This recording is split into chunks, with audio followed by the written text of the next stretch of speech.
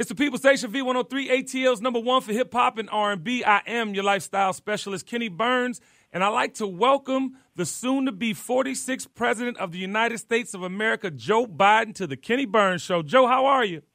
Kenny, it's great to be with you, man. I'm doing really well. Feeling For- really optimistic about today. Very op.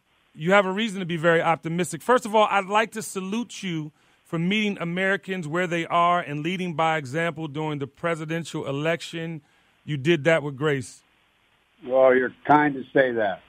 It's you know, it's about one of the reasons I ran, Kenny, as you know, and the same reason why I think Jon and the Reverend are running as well. We got to restore a sense of decency and honor and and commitment to to one another. We got to unite this country, and uh, that's why I'm so excited about the prospects of Jon and the Reverend winning this thing. If they if, they win tomorrow, we'll, we'd be able to get immediately out uh, the checks for two thousand dollars for people who are really hurting.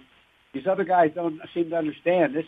This COVID pandemic and the job loss has been consequential to thousands of people are lying awake at bed, staring at the ceiling, wondering whether they're going to be thrown out of their apartments and whether they have enough food on the table. And I mean, did you ever think, Kenny, in your lifetime you'd see food lines, people lining up for miles in vehicles just to get food? I never thought I'd see it. I never thought I'd see it in my life. I I'm in my 40s, and I, I must tell you, it's the most disheartening thing. And to have leaders in public office that you know don't serve the public is disheartening. But I have a question for you, uh, President-elect Joe Biden at the end of the day, I want to provide TKBS Nation with facts. And can you share with the nation and Georgia what is expected to come uh, to come before the Senate this year that makes it so critical for Raphael Warnock and Jon Ossoff to be elected today?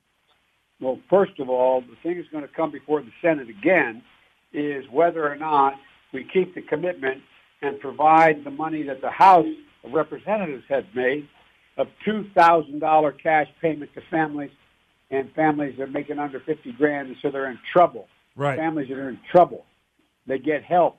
They need help right away. This is the United States of America. The idea of fighting for food should not be a question. Secondly, what's going to come about is right now, for example, in Georgia, you have only about 75,000 people have gotten the vaccination, yet you got about a half a million doses of that vaccine in the state because there's no planning. The right. federal government has done virtually no planning. It's one thing to get a vaccination, you get the get the actual vial sent to you in a in a, in a frozen pack. Another thing to get it into a needle and the vaccination in somebody's arm. Absolutely. And so I'm going to need their help in making sure that we establish thousands of federally run and federally supported community vaccination centers of various sizes across the country, located in high school gyms or NFL football stadiums or and we can do that by engaging the Federal Emergency Management, FEMA, the disaster group, yes, and CDC, the, the Center for Disease Control, and the U.S. Military and National Guard. We can deploy clinics and make sure they're reaching the rural locations. That uh, we can put mobile clinics out there, so people in mobile areas who don't have access to pharmacies can get the get the vaccination. Yes. We can launch a, a storefront vaccination program that make these vaccines available to local pharmacies, Walmarts, communities across the country. We can do this, but it costs money. Yes. And the inability of the of uh, the present Republican leadership and Trump in particular, preventing that from being made available by to to the uh, to the states is just it's just almost criminal in my view. It is. And people are dying. People are dying. And we need to, in, in, in 46, we need to get it to people that can't afford it. I mean, I think the biggest fear in Georgia is that are we going to be able to afford this vaccine? And Jon That's Ossoff. exactly right. Yeah, and, I guarantee you, in my administration, there'll be no question. The vaccination is free. Free, free, free. Wow. Treatment for COVID will be free, free across the board. This is a national pandemic, yes. for God's sake. Yes. The idea that we should have to pay to save the nation. And by the way, unless we're able, unless we're able to get this vaccine in people's arms and get this crisis under control, we're going to find ourselves in the economy continue to tumble and stumble and cause more jobs and put us behind the eight ball. Absolutely. There's an overwhelming reason to do this. It makes economic sense to do this. But I need their votes in the Senate. I Absolutely. need their votes in the Senate. Absolutely. And I want to give the nation another fun fact, uh, 46. At the end of the day, I want people to know, obviously, why it's important for Raphael Warnock and Jon Ossoff to be voted in, but also how uh, VP elect Kamala Harris plays a key role if there's ever gridlock in the Senate. I don't think many people Oh. know about that. Well, when Jon and the Reverend win, it's a 50-50 tie. You know what that means? The Right. Vice President of the United States essentially becomes the majority leader in the United States Senate. Yes. He has the vote to break every single tie. So it gives the Democrats 51 votes. Yes. Her vote. Her vote. And it's a gig- and look, here's the other thing that's happening.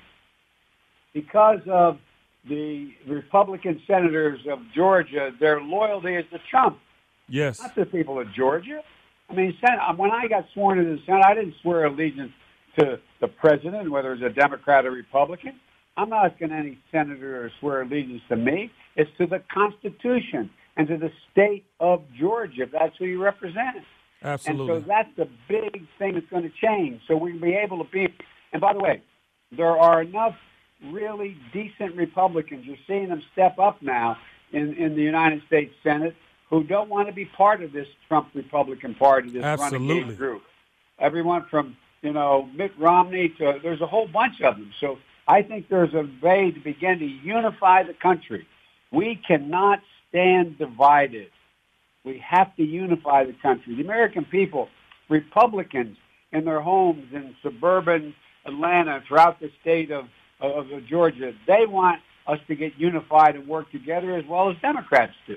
Absolutely. And it seems like common sense. And I'm so happy, 46, that we have leadership like you and our soon to be VP Kamala Harris at the door. I am so happy about that. And I just want to salute you and wish you the best on your journey. We're going to get out there and get active today and elect Raphael Warnock and Jon Ossoff to the U.S. Senate.